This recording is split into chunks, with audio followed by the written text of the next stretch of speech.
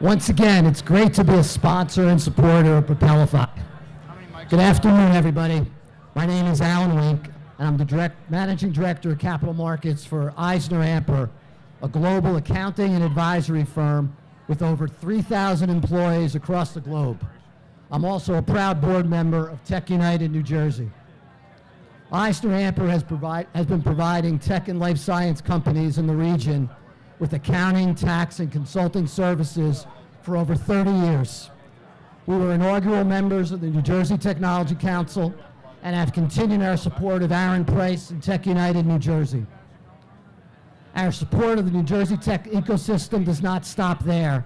EisnerAmper has been the sponsor of Jumpstart New Jersey, one of the region, region's most active angel groups since its inception over 20 years ago.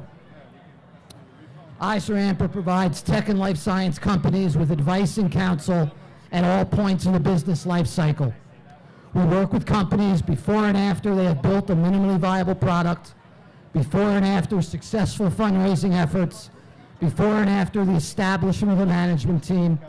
In fact, EisnerAmper Outsourced Accounting Group, headquartered in Silicon Valley, has provided outsourced accounting and tax services to hundreds of early stage tech and life sciences companies across the country. Amper is well connected in the capital community. Amper is the accounting firm for many VC and private equity groups and also has strong relationships with many other VC firms across the country. We take advantage of these relationships to introduce our clients to appropriate capital sources when they are attempting a fundraise.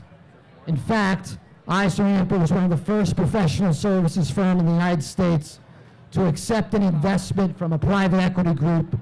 In 2021, TowerBrook Partners, a $17 billion private equity group, made a significant investment in EisnerAmper. I'm really interested in the comments from our next panel on tax tech.